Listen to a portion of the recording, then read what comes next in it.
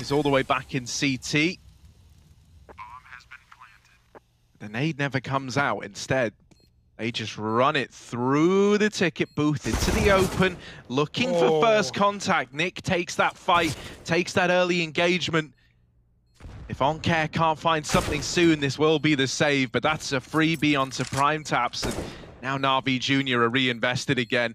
Orb set up at ramp, low HP on Aqua, can't even take a shot, and Aunkere is dishing them out. Just Nick left to beat. Aunkere on for the clutch, but Nick holds his own. And Big Omen Academy, they will just about keep that second round up on the board. Oh my god, they're having to really work for them, aren't they? Right, just the one-on-ones, whatever Navi